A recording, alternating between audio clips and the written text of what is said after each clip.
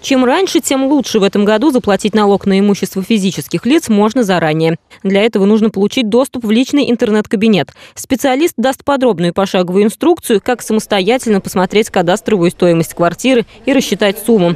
Крайний срок уплаты налога на имущество физлиц – 1 декабря. Но лучше всего это сделать раньше, уже весной, рекомендуют фискальные органы. У некоторых э, категорий жилья э, стоимость э, кадастра увеличена и, возможно, общей суммой уплатить в декабре будет кому-то трудновато. Можно это заплатить частями.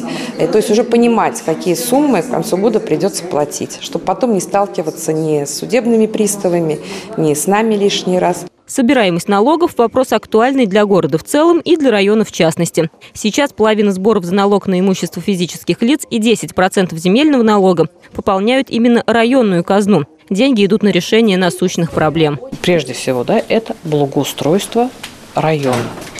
Это э, ремонты Внутри э, ремонта малых архитектурных форм, установка, благоустройство дворовых территорий, это ремонт наших лестниц, ремонт наших тротуаров, это э, посадка деревьев, снос аварийных деревьев и многое-многое другое. Это вот масса направлений деятельности, на что требуются деньги.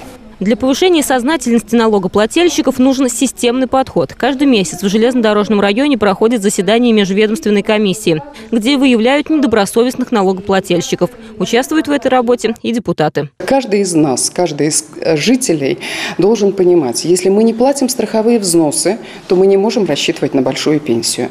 Если мы не платим налог на имущество физических лиц, если мы не платим земельный налог, то, наверное, неправильно спрашивать с власти, где же благоустройство благоустройства в наших с вами районах.